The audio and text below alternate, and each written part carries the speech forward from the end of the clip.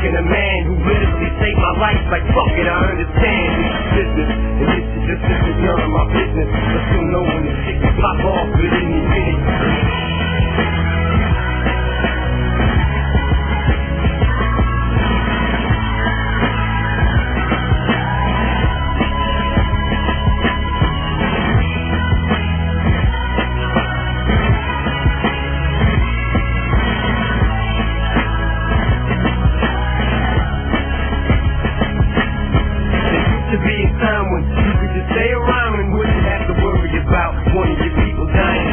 But now it's elevated, cause once you put someone kissing it, it gets escalated. It ain't just words, no more kiss it. It's sipping bargain, you call names and you ain't just rapping. Actually tried to stop at 50 and stop me from happening. Me and Gray attacked with him, kicked it and had a chat with him. And after not to start, he wasn't gonna go after him until I started gathering in magazines how we stabbed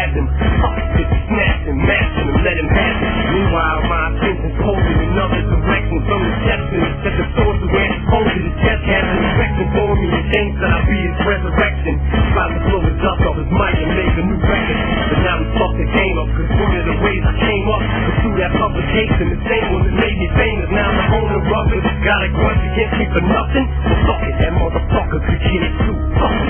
But I'm so busy being pissed off, I don't stop to think. Just inherited 50 feet with murder ink. He's inherited mine, which is fine. Ain't like either of his mine. Still like soldiers that's on the front line. Willing to die